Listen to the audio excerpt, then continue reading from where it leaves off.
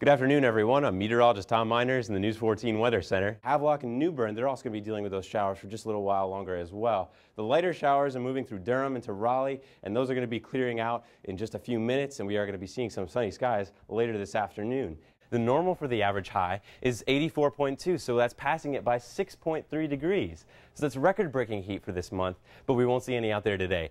So, if you have weekend plans, you might want to watch out. Ooh, well, what about tomorrow? Because I'm planning on doing the senior bell tower climb when I when I get all the way up there. It's going to be uh, iffy. I mean, I would say that for tomorrow at least, we will have those showers clear out. You should be good by the evening. It's going to be nice and sunny actually by later in the afternoon. So I say you're good for a go. Okay, and then senior bar golf will, will definitely be clear for tomorrow Definitely night. clear. All right, thanks so much, Tom. The sun has finally come out, but this morning, students braved chilly temperatures near 46 degrees as they started to wait for President Obama to come speak tomorrow at UNC Chapel Hill. Good afternoon, everyone. I'm meteorologist Tom Meiners here in the News 14 Weather Center. And if we take a look inside the temperatures right now, you can see we're at 58 degrees in Raleigh, 58 in Chapel Hill. And if we go to the northeastern part of the state, you can see we're 56 in Elizabeth City and a little bit warmer as you go further south. 60 degrees in Goldsboro right now, and even in Fayetteville, it's even warming up a little bit with temperatures like 63 and 63 in Laurinburg and 62 in Lumberton. If we take a look at our surface map, I want to show a few things to you. First is that we have a big rainmaker coming in through this weekend. Low pressure system is rotating counterclockwise and it's bringing ahead a warm front and a cold front with it. The warm front is the boundary of warmer air, so temperatures are going to warm up just a little bit before this weekend.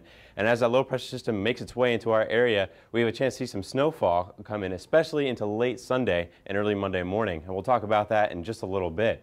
But first also I want to give you an idea of when that storm is going to come into our area, when we'll start to see some showers. You can see at midnight on Sunday we have some scattered showers through Raleigh. Most of the showers are going to be in the southern and southwestern parts of the state, but by Sunday at 9.30 a.m. we're going to have some showers be a little bit scattered and even some icy conditions if you're in northwestern parts of the state or even the Piedmont region. Now as we go to our next graphic we're going to show you that basically the snow accumulation is going to occur over into Monday morning uh, from Sunday night. By 6 a.m. on Monday, there will be a scattered, there's going to be a trace amount of snow in Raleigh, maybe uh, even up into two inches in some northwestern parts of the state. In the Triad, we could see uh, snow as much as four inches, or even in Boone, they're going to get a, a lot more snow, western parts of the state, especially where they're colder. That has a lot to do with what the ground temperatures are. And as you can see, 38 in Fayetteville is a forecast for tonight, 36 in Pinehurst, and 36 in Raleigh. So the temperatures will still be above freezing tonight. And even into tomorrow, we're going to see temperatures get close to 60 degrees with most of the temperatures being in the upper 50s in most of the state.